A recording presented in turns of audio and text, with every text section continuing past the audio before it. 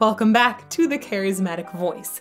Peter Gabriel is legendary, but I feel a little bit guilty because I'm not particularly familiar with his voice or music.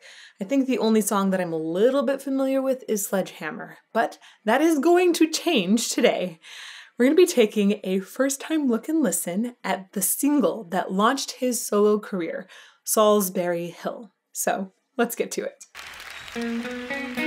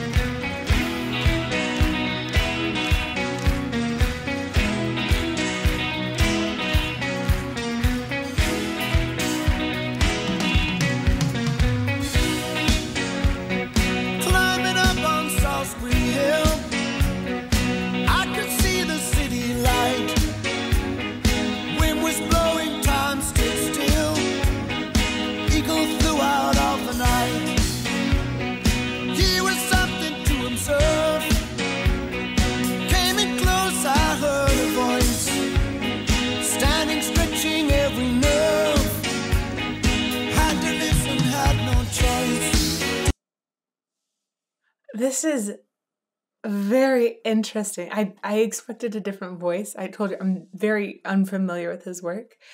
Um, and there's so much that I hear in common with Phil Collins, which isn't surprising to me um, because they both had Genesis in their history and they crossed paths there as well. Um, he has so much clarity in his sound, and it just it's the kind of sound you want to narrate a story. It has the ability to take you down a stream of words and paint a picture. And it's really, it's just beautiful and it really draws a person in. Uh, I was noticing uh, that I really like their jackets. I think they got some mad jacket style. I was digging the trench coats, the long ones for sure. And then he came out with his shorter coat style, and I was like, oh, brave, brave. Um, was really, really digging that. And there's a lot of catchiness um, in the main riff for this song. And there's a combination of, feels like sentimentality that I hear in the harmonic progression as well. I'm going to go back to the beginning. I wonder if it's hard to do that and play at the same time.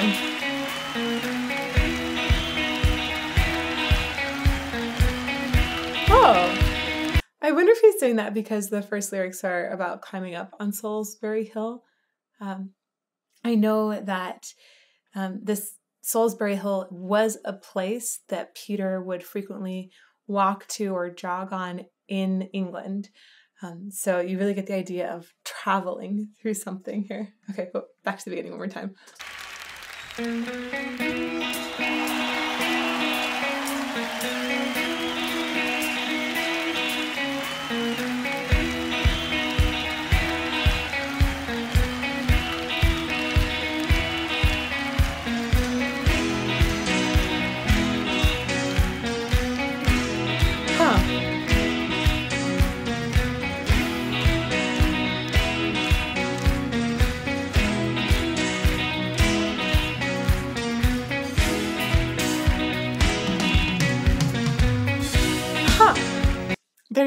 Um, something really interesting in the music here where you feel um, the beat doesn't feel completely square.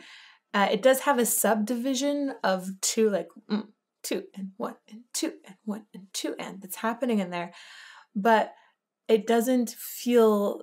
I noticed that there was a feeling of continue or continuing on wanting to sort of tumble over into something new essentially at the end of a certain beat. And i felt myself cut off a little bit. Like I, it was something unexpected that kind of came back around. And that's because i think the time signature is in 7-4 i'll count it out in a bit. One two.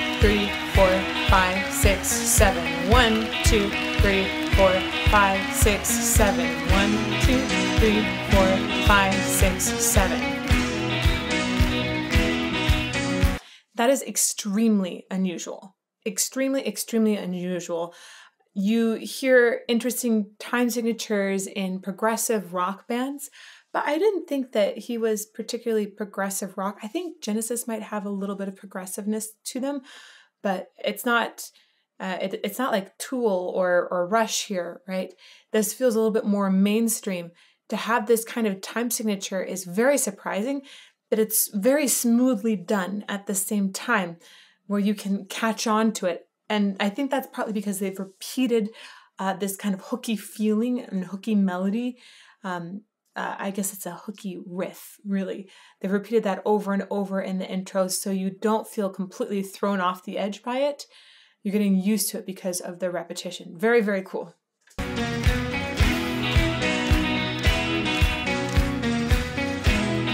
I keep wanting there to be an eight.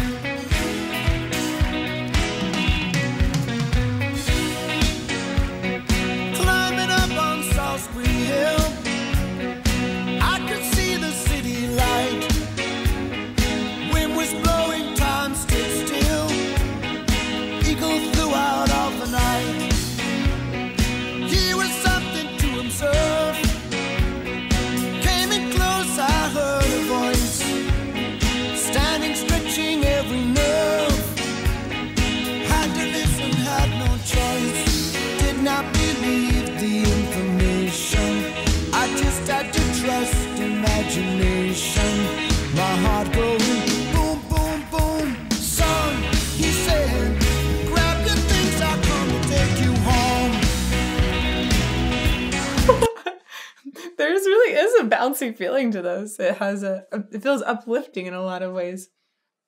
I like the way his voice has both that depth in it. I you hear it feels like some wisdom, right? And then it's got a certain shininess. Uh, that's where that clarity is really coming in, where it feels like it's got the forward focus. Um, not with a lot of nasality though.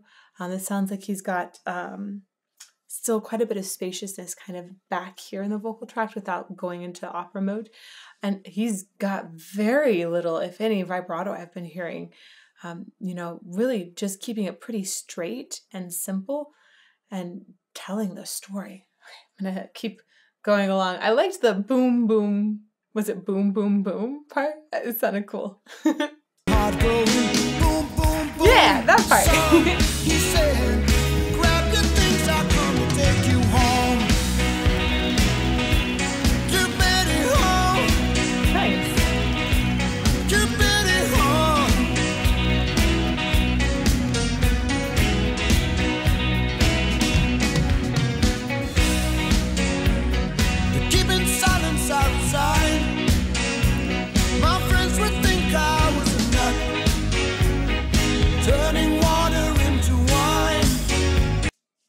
So fascinated by how the phrasing is playing with the 7 4 time signature.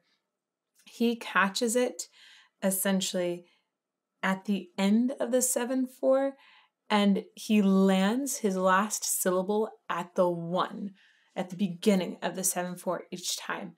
Um, landing that last syllable helps reassert the downbeat um, of the 7 4. The downbeat is usually the first beat in a set of a time signature. So if you have uh, four four time, you'd have one, two, three, four, and the one is the downbeat there. You know, in this case, we've got seven. So the one is still the downbeat, but we have essentially six other less strong beats. And the first beat is going to be the strongest. That helps us kind of keep orientation within such a strange time signature.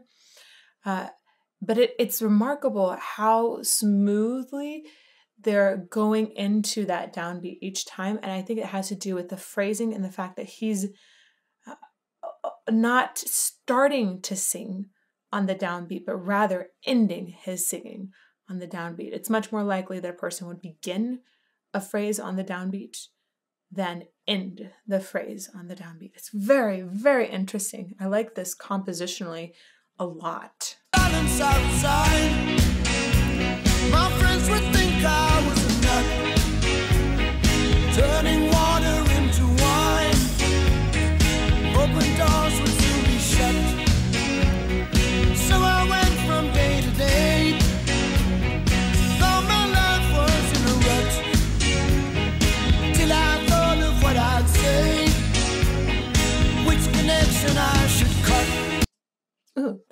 Sang cut. That made sense because the word cut means that things get chopped off, and he made cut really short.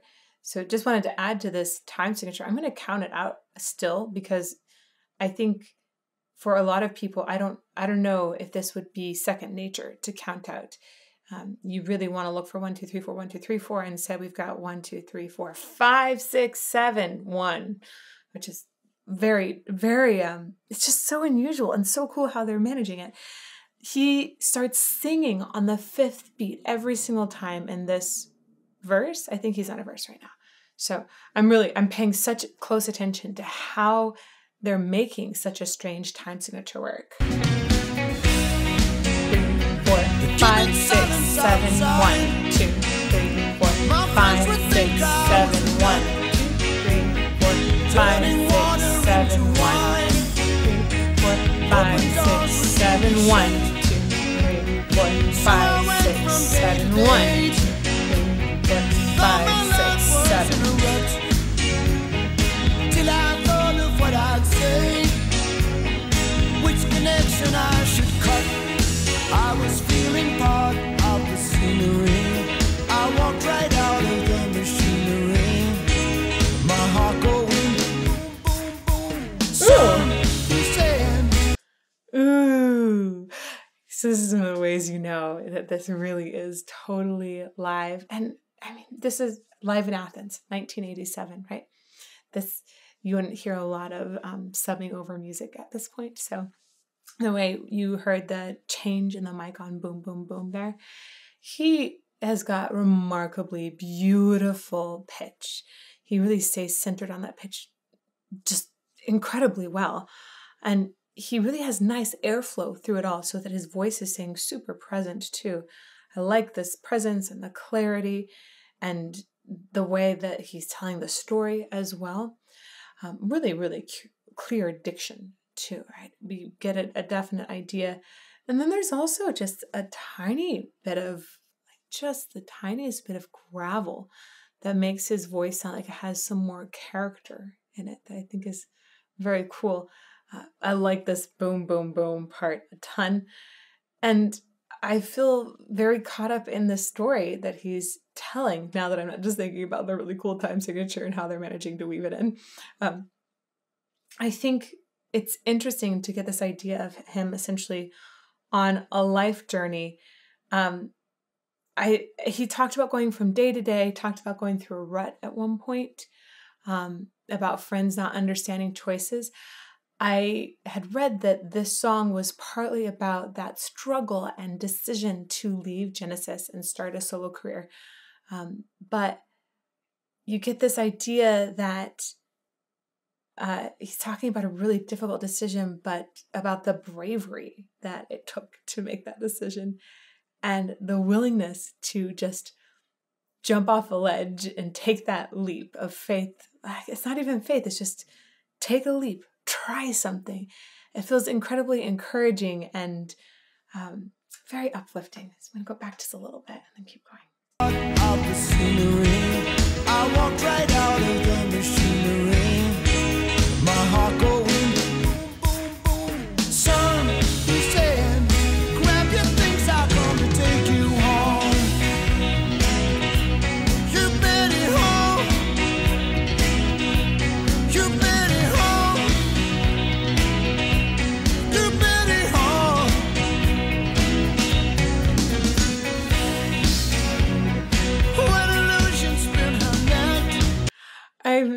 Impressed by how much activity, the bouncing in particular, that can cause your diaphragm to be a little bouncy too. And he has such a smooth sound despite that, right? It's very, very smooth. I don't hear the bouncing affecting the tone at all, or the pitch center too, because you got to keep in mind that your larynx can bounce as well, and that might affect the breath pressure that's underneath it, which in turn can affect the pitch. Now you hear no, um, no wavering whatsoever.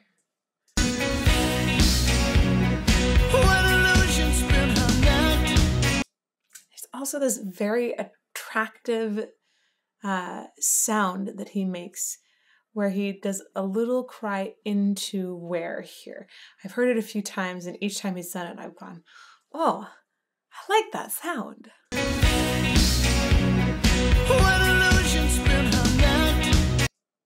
It actually uses a shadow vowel before, so he's not singing where, but where essentially, and using that um, it's a vowel that precedes the actual word. There's various vowel combinations like this, often with the W, though.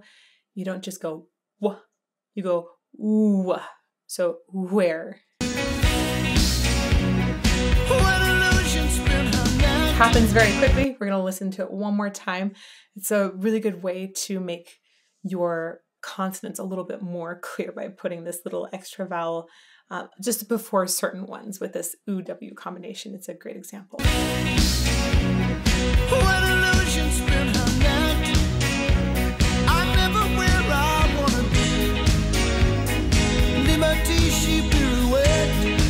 when I think that I am Watch my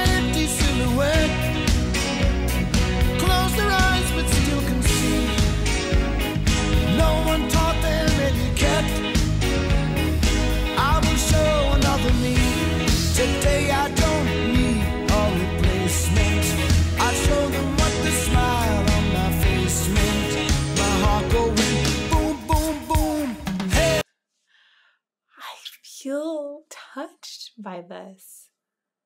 It, it feels like it feels like you want to go make something of your life when you listen to a song like this. I I love this one of the phrases in here today I don't need a replacement meaning I'm going to grasp the day. I'm going to go do everything I can with it, make it really really worthwhile. I love the idea of your heart going boom boom boom the way that that interrupts the flow of the music as well with that excitement essentially to live and go live something that is maybe unexpected. Um even talks about that smile. Man you can really hear it. I liked the way on smile too. He did a little uh, a little dip in it too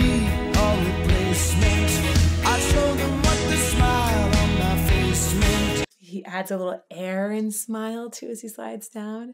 It makes it sound like he's got a smile on his vocal tract while he's singing it. Replacement. I them what the smile on my face meant.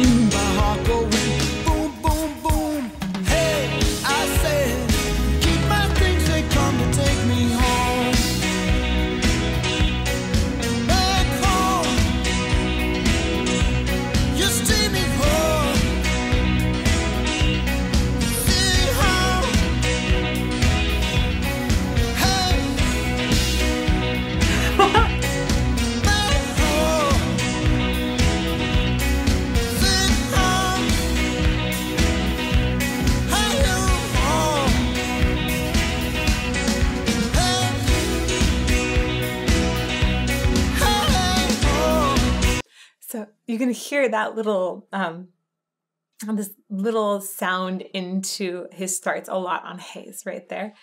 Uh, I think that must be one of his signature things. To me, it sounds um, it's a really great sound, and so I like that he's leaning into it and doing it a lot. The track that they've got going on the stage, I'm really curious what that track is for. It looks like they've got something cool, maybe they use in the show later. Uh, it does provide a very nice grid for where to bounce together to. Again, very surprised by how smooth he's keeping the voice with the bouncing. It's definitely a bouncy song. Uh, there was one other thing in there, but I forgot what I was going to say, so I'm just going to go back a little bit because I'm digging the groove.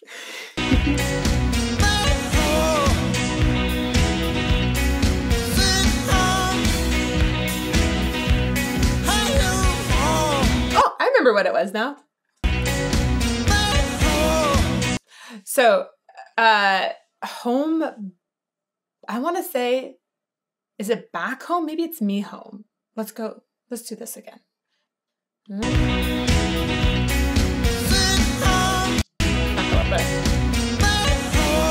Maybe it's me. So he's alter altering the vowel up there to make it a little bit easier with that height.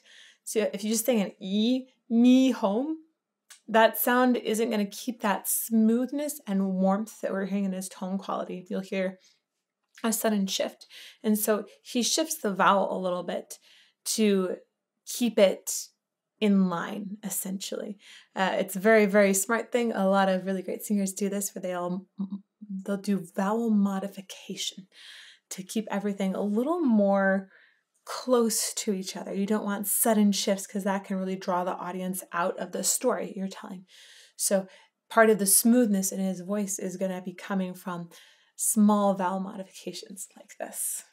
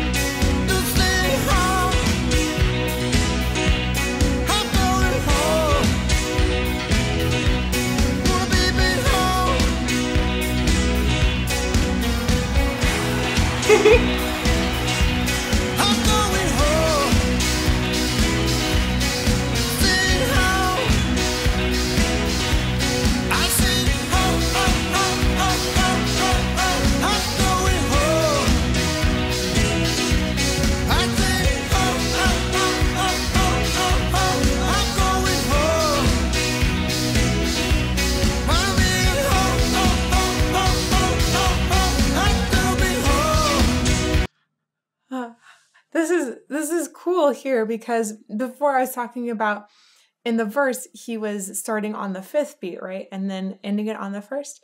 Now, at this part, it feels like, especially because they've come forward to be with the audience more, feels like they're really inviting the audience to sing along with them. And they are starting on the downbeat now. So that is a better indication to the audience of where to begin. I'm glad that they didn't really invite the audience as much to sing earlier in the song because catching the 7 4 earlier would have been much more difficult. But now it's you're getting used to it. It's kind of sunk into your bones a little bit throughout the song, right? It doesn't feel so jarring anymore. It's kind of like, in general, whenever there is change in life, right? It, it feels a bit jarring and you feel a little bit off put by it, right? It, it's, it switches things up, it's unexpected. And I can totally see how how the 7-4 in particular, I don't know if this is true, but I could see why writing a song in 7-4 would appeal to somebody that made such a big decision to leave Genesis and start a solo career. It makes sense that a 7-4 um, time signature would evolve out of that for your very first solo single. Um, so this uh, this idea of okay, it's something new. It feels different and awkward at first, but as you get used to the change, that becomes the new normal, right? So at this point, the audience is going to be able to actually catch that downbeat each time and sing along.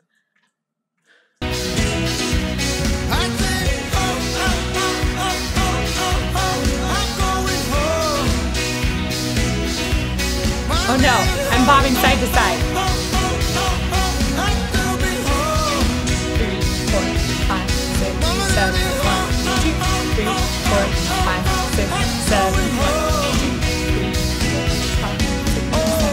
Contagious.